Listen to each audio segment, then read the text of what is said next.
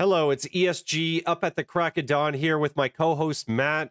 We have some massive changes to Tarkov that we're going to explain to you. Welcome to the channel, guys. Let's get into it. Battlestate Games just dropped patch 14.6.0. And with that patch, we are now going to have access to the unheard edition. So that's the first notes that we're going to go through here. Matt, so what do you see in in this new edition of Escape from Tarkov? So the unheard edition is going to bring quite a few interesting changes to the game um, and and perks for those that want to spend the, the money on on the upgrade um, or to buy it outright. You can either upgrade from EOD for $100 or if you don't have EOD I believe it's two hundred fifty dollars. But so the uh, the the most interesting thing to me on the Unheard Edition is access to the PVE co-op mode with persistent progression. And uh, say that the progression is not going to reset with wipes. So I don't know if this is going to be it, it, uh, its own standalone thing or if it's going to be a, a straight up co-op mode with the regular game that you can play with your friends. I guess we'll have to we'll have to take a look at it once this uh, upgrade's finished. The enhanced stash size is actually four squares larger than the standard EOD stash. EOD's is 10 by 68, and this one's going to give you 10 by 72. And if you had any of the uh, stash upgrade purchases that you can get separate on that website, it'll be 72 plus however many extra slots you got. You'll have increased starting level of character skills, and we'll have to take a look in game to see what exactly that will come out to be, and how many extra levels they'll give you. Um, the, expanded pockets are kind of interesting. Um, I believe you'll have an extra row per, so you'd have two or one by two slots and four of them, so you'll be able to fit whole magazines, standard size magazines in your pockets, kind of like the bosses do. Um, additional equipment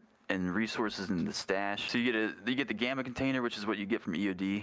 If so, if you don't have EOD, this upgrade will get you the same gamma. You get a weapons case, lucky scav junk box, an ammo case, the SR2M submachine gun, get an AK-105, an SVD, a you get some some 30 round mags for your SR2M, some 30 round mags for the uh, 545 AKs. SVD, you get some you get three 20 rounders, which aren't available immediately if you're on a new wipe with it. So I mean, it's not a bad little upgrade. You get a bag bag air bag airly. I don't know how to say that one, but the the big heavy Russian um, plate carrier. You get a TV 115 plate carrier. Start off with a million rubles, which I believe is double the standard starting amount, a thousand USD and 500 euros, as well as it looks like you get some solid 762 by 54R starting out with it. You get 60 rounds of it. It's going to be guaranteed to pen anything on a new wipe while you have those rounds still. You get 90 rounds of BT, the okay round, and then uh, BT 9 by 21 for that SR2M. And That's then it the says below. And then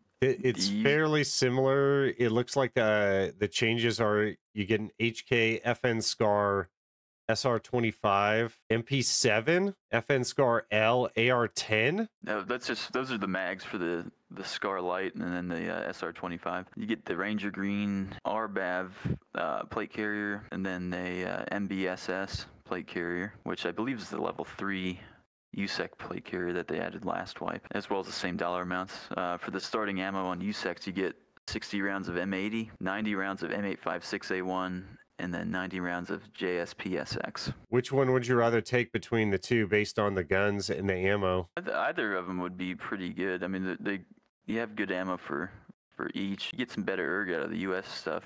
Not so much the Scar Light. Scarlight kind of sucks. I feel like it needs a buff, but the, uh, the SR25 is definitely more ergonomically sound than the SVD. Um, with lower pen back. on the M80s. So the increased starting level character skills, you get attention level three, hideout management level three, weapon maintenance three, bolt action rifles three is big, so you have to grind the bolties um, in order to get the bolt action um, skills high enough for like Psycho Sniper or whatever the other tasks are that require you to, run the bolties. So that cuts out a lot of the grinding away with bolties. And you have pistols level 3 starting out. So none of those are going to be game breaking. It's more of a quality of life thing, especially on the bolt action thing, because I hate running bolt actions when it doesn't make sense to. That'll prevent that. The access to co-op mode, which you already have with EOD, but if you don't have EOD, that's going to give you access to it you get apparently a unique in-game armband. The neat, there's that radio, Mark of the Unheard, Uh, they be equipped in a special slot, so it's not going to be dropped when you die. And it gives you a 50% discount when using cash services in Raid. So, like if you're paying for the BTR or Scav exfils,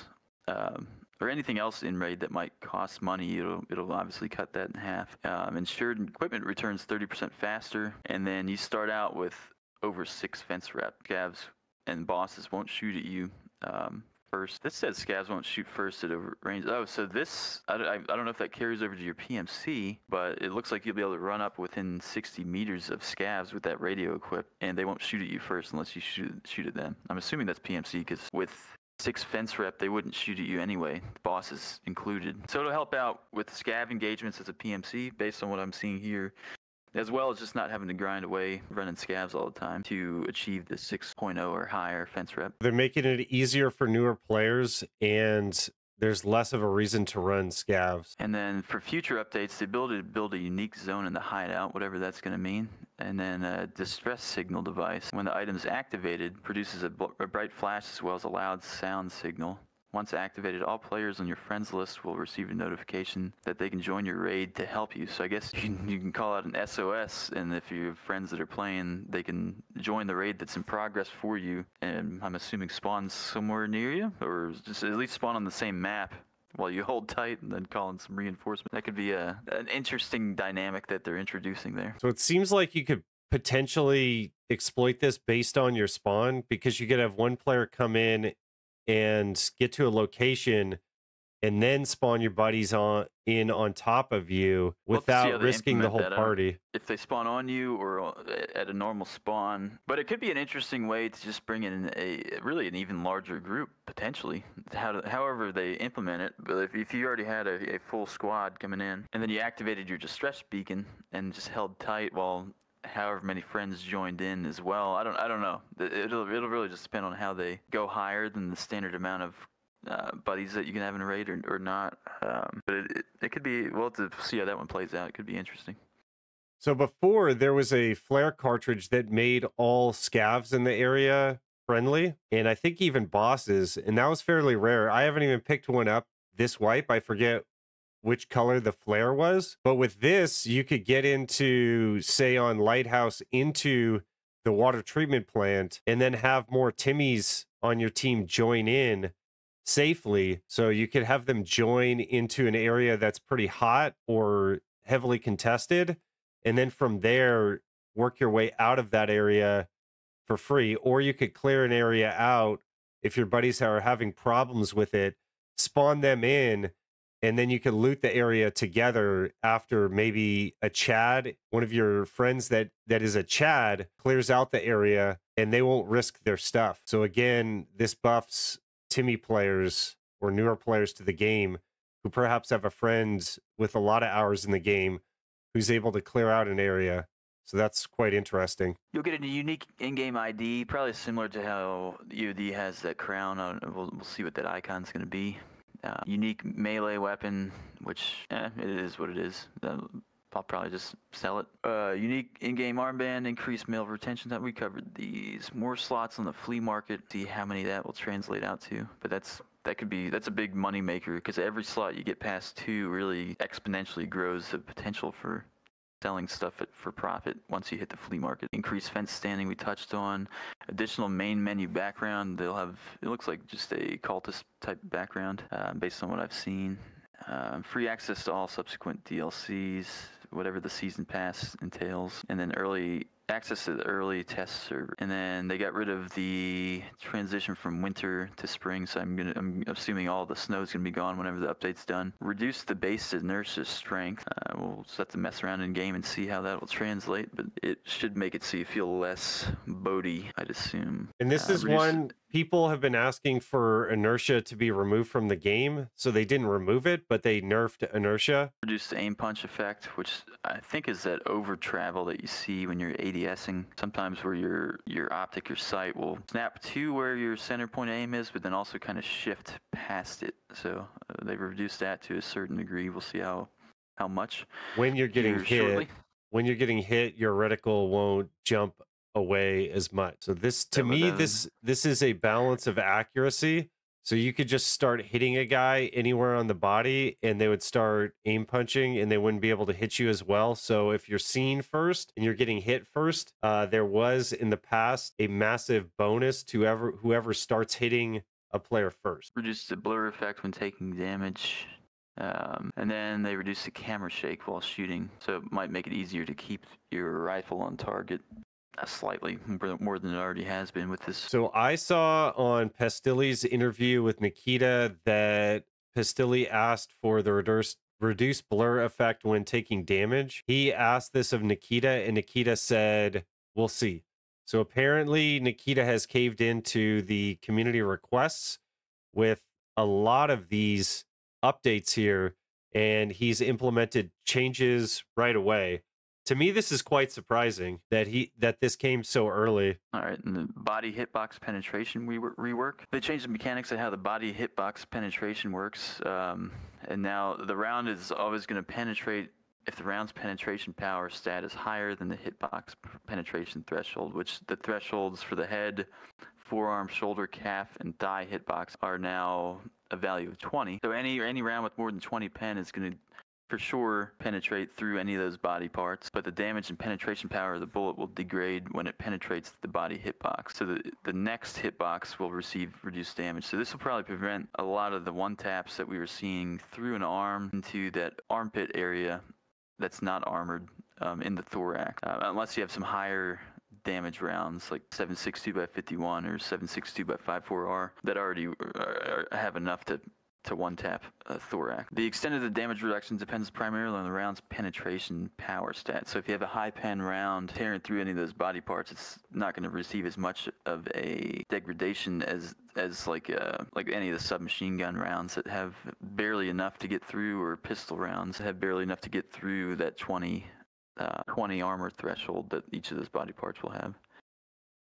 And then, secondly, it depends on the caliber of the round and the body part's hitbox penetration threshold. The greater the penetration power stat and caliber of the round, the smaller the damage reduction. And then they reduce the armpit hitbox size. So it looks like the armors will have better coverage than they have had er- earlier this way. The armor penetration rework, and this they'll probably have to redo all the ammo charts and everything coincide with this. But uh, well, I'm, I'm assuming they already have done that in game with the new pen stats that you can see on each round. So We'll take a look when the update's done. But uh, if the round's penetration power stat is 15 more than the armor's effective durability, this will result in a guaranteed penetration. The following must be taken into account. Effective durability for intact armor is approximately equal to its armor class multiplied by 10. So like a level 4 armor will be approximately 40. Well, to get a guaranteed pen on level 4, you'll now need 55 pen based on how they worded that first bullet. Effective durability for damaged armor de-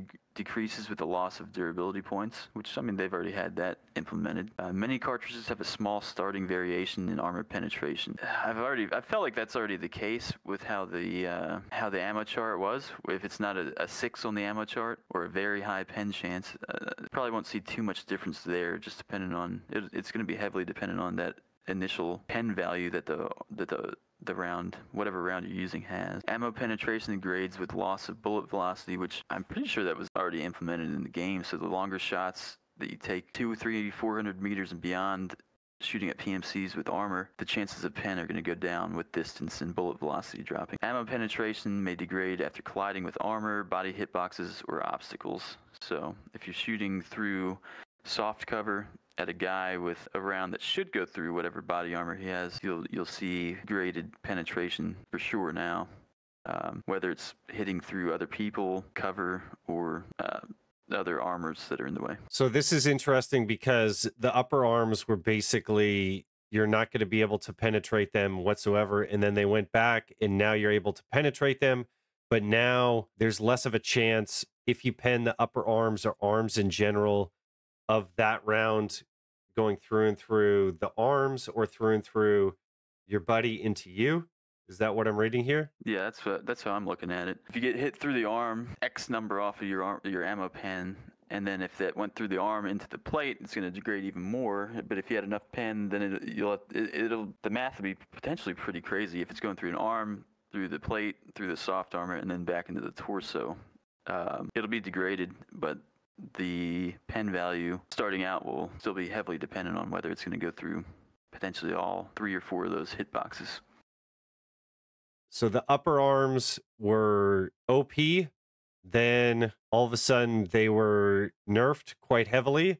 And now this is kind of like a balancing effect where there will still be a benefit to your arms blocking your body, but not as much. The next thing we're going to go over is let's take a look at M80s just at the current ammo charts and kind of see how these new armor penetration reworks will affect uh, that caliber of round in game. And we're just going to speculate as to how this will affect in game now with these changes. Okay, so you see the current ammo charts that have not been updated before you. And you see that a class four, a M80 hitting a class four armor will no longer pen 100% of the time because a class four armor will have an effective armor class of 40, but you need to hit 55 in order to get a guaranteed pen on a class 4 with an M80. Anything you're seeing here, Matt? Uh, I mean, M62 tracers are going to be in the same boat as the M80s potentially, just based on how they worded it. So it looks like the M61s would be your only guaranteed pen on class 4, M61 and, and M993. Un- unless they go through and change damage and pen values at all on the bullets. Uh, but yeah, the, the, it's going to throw some wrenches into uh, the meta rounds to use for sure. If Class 4 is going to be stopping M80s, M80 was the round to go with most, pretty much this whole wipe if you can get your hands on it because it will go through the Class 4 guaranteed. And now that's definitely not going to be the case. Look on the right side, uh, right before the Class 1 armor. So it shows the speed. So M993 is actually the fastest one. So it it travels the fastest, the rightmost column before the classes. So that one's going 910 meters per second. It'll be dependent on the, the speed of the round for how much it's going to drop off uh, combined over the over the distance. Um, but that's going to be the fastest round, actually, the M993. Where it's going to be lackluster, though, is the damage because M993 already does considerably less damage than M80s at 67 versus 80. So if you're looking but, at class 5 armor, which is typically the readily the best readily available armors with max traders, with M993, you're going to be able to pen on the first hit with a pen value of 70. Obviously, you're going to get less damage and then with the bullet velocity being so high, it's going to be effective out to higher ranges. So the better ammo that's not readily available, in my opinion, has just been buffed.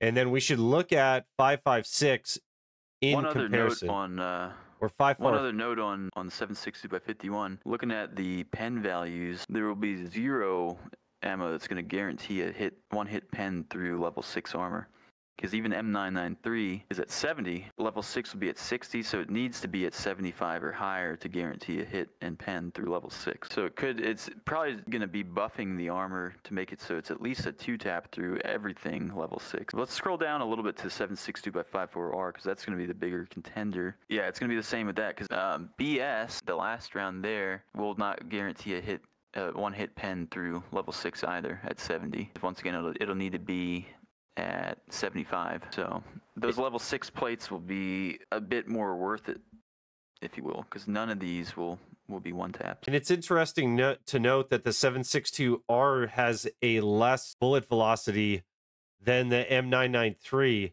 So your 762 by 51 caliber is going to be doing more damage at range or higher chance of penning at range rather. So if you're wanting to pen in level 4 armor with 545, BP is going to be the bare minimum with the new armor changes. Or no, sorry, really just Igolnik is going to be the, the bare minimum because even BS is going to be just one lower than 15 higher that you'll need on a level 4 plate which but ppbs is lackluster especially at range because it's already got low flesh damage. You'll be able to potentially pen what you're hitting more, but it's going to take more rounds to kill. But because of the, like the the bullet velocity, it'll be more consistent at range. And then BT is going to be the standard to now hit flesh and pen flesh because flesh has a base pen value of 20. So if you want to make sure that you pen flesh on the first round, you're going to need BT, which is readily available pretty early well, no, the, the, the, the, flesh You don't need to have the 15 higher on the flesh, just the armor. I'm assuming that it works the same. I'm assuming that you need to have the 15 extra to guarantee your pin. Unless I, I'm Go just looking the- into that. uh, I'm pretty sure that 15 extra is just on the armor. Just scroll up to the uh, one above this. Armor effective durability, and And then then so it says head, forearm, shoulder, calf, and thigh hitboxes now have a threshold value of 20. So perhaps But the, the sentence above that, uh, now the body hitbox is always penetrated if the round's penetration power stats higher than the hitbox penetration threshold. So anything over 20 should still go through soft body parts. I think it's just the armor that uh, has that additional need of 15 more pen above whatever the armor value is. so anything in 545 over For T. tracer rounds, yeah. So FMJ will pen your the soft parts of your body, um, but But anything y- below y- that is going to be pretty US, garbage. SP, PRS, and HP that do a lot of flesh damage won't guarantee pens through body parts. So perhaps a nerf to scav ammo here. You should see a lot less one taps from scavs at range that hit you through an arm, go straight get straight through and hit you into the torso with this change, I'd assume. All right, guys, we're just to run the Unheard Edition trailer here for you guys if you guys haven't seen it. And thank you guys for watching the video. Please consider liking and subscribing if you enjoy this content, and we'll see you on the next one.